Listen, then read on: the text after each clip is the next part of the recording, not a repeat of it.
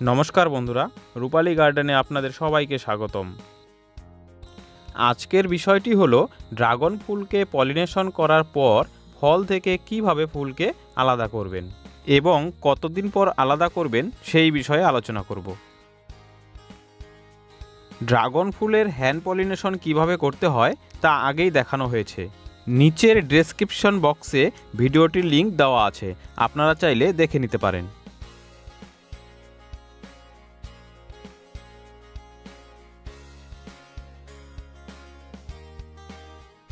Pollination করার পরের দিন সকালবেলা থেকে ফুলটি আস্তে আস্তে শুকোতে শুরু করে দেয়।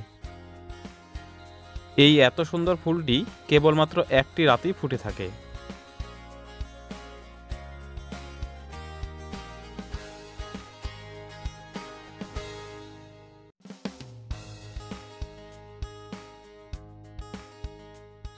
পলিনেশন করার পাঁচ থেকে ছয় দিন পর ফুলটি যখন শুকিয়ে আসবে, তখন হলুদ অংশটি ফলের যে সবুজ অংশটি দেখতে পাচ্ছেন, তার থেকে আলাদা করতে হবে।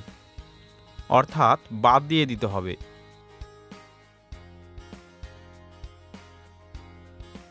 হলুদ শুকিয়ে যাওয়া অংশটিকে প্রথমে একবার ডান দিক, একবার বাম দিক এবং ওপর নিচ করে টান দিয়ে তুলে দিতে হবে।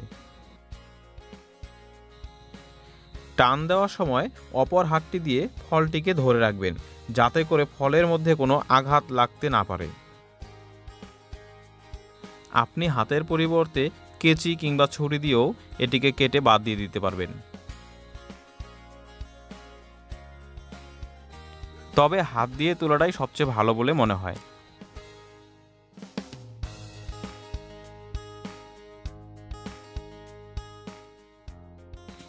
দেখুন বন্ধুরা, একদম পরিষ্কার হয়ে গেল ফলটি। যদি বৃষ্টি হওয়ার সম্ভাবনা থাকে, তাহলে ফলটিকে প্লাস্টিক দিয়ে ঢেকে দিবেন। দুদিনের মধ্যে ফলের মাথার অংশটি শুকিয়ে গেলে আর বৃষ্টি হলেও কোনো ক্ষতি হবে না। ভিডিওটি আপনার ভালো লেগে থাকলে লাইক, কমেন্ট, শেয়ার করে দেবেন। আর হ্যাঁ আপনি যদি আমার চ্যানেলে নতুন হয়ে থাকেন, তবে অবশ্যই আমার চ্যানেলটিকে সাবস্ক্রাইব করে দেবেন। ভিডিওটিকে সম্পূর্ণ দেখার জন্য আপনাদেরকে অসংখ্য ধন্যবাদ। ভালো থাকবেন সুস্থ থাকবেন। দেখা হবে পরবর্তী ভিডিওতে। নমস্কার।